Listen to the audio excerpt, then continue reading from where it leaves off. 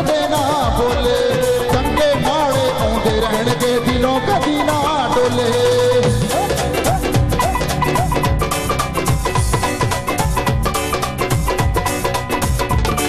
ਕਮਦਾ ਪਿੰਡ ਖਲਬਾੜੇ ਭਾਲਾ ਸੱਪਾ ਝੂਠ ਕਦੇ ਨਾ ਬੋਲੇ ਚੰਗੇ ਮਾੜੇ ਆਉਂਦੇ ਰਹਿਣਗੇ, ਦਿਲੋਂ ਕਦੀ ਨਾ ਡੋਲੇ।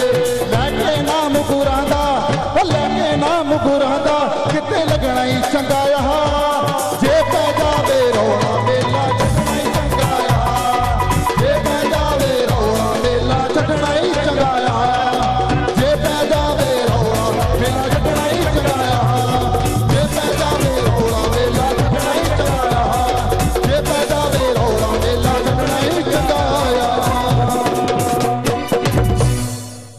ਇੱਕ ਬਾਬਾ ਨਾਨਕ ਦੇ ਨਾਂ ਤੇ ਛੋਟੇ ਸਤਾਈ ਅੰਤਰਾ ਬਾਈ ਤਾੜੀ ਮਾਰਦੇ ਚੰਗਾ ਲੱਗਾ ਵਾ।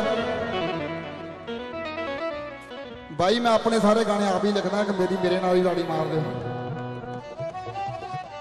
ਬਾਬੇ ਨਾਨਕ ਦੀ ਛੋਟੀ ਜੀ ਗੱਲਬਾਤ ਅਸੀਂ ਉਹਨਾਂ ਦੇ 20 ਰੁਪਏ ਦਾ ਇੱਕ ਵਿਆਜ ਹੀ ਖਾਈ ਜਾਂਦੇ ਆ ਪਰ ਕਹਾਣੀ ਕੁਝ ਹੋਰ ਹੈ।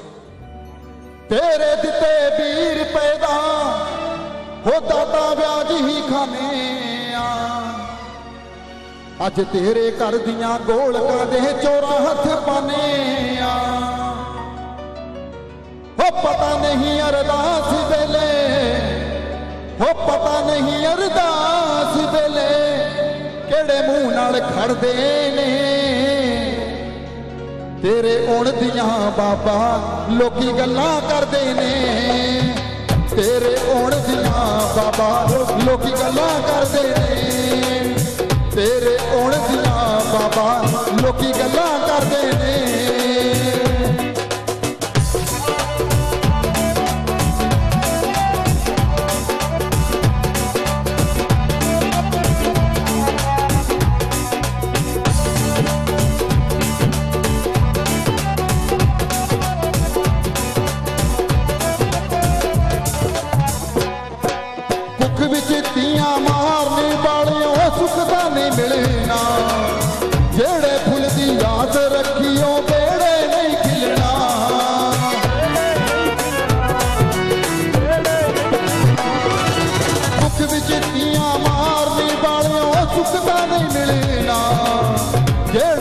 ਜਿਹੜੇ ਫੁੱਲ ਯਾਦ ਰੱਖਿਓ ਬੇੜੇ ਨਹੀਂ ਹੋ ਕੇ ਪੁੱਤ ਜ਼ਬਾਨ ਆਖਰ ਨੂੰ ਹੋ ਕੇ ਪੁੱਤ ਜ਼ਬਾਨ ਆਖਰ ਨੂੰ ਕੌਣੋ ਫੜਦੇ ਨੇ?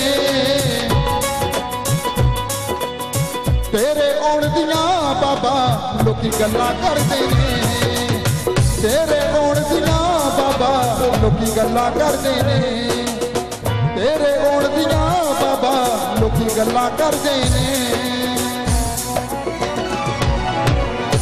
ਲਓ, ਇੰਨੀ ਹਾਜ਼ਰੀ ਕਬੂਲ ਕਰੋ ਜੇ ਚੰਗਾ ਲੱਗਾ ਤਾਂ ਤਾੜੀ ਮਾਰ ਦਿਓ ਇੱਕ ਵਾਰੀ। ਥੈਂਕ ਯੂ ਧੰਨਵਾਦ।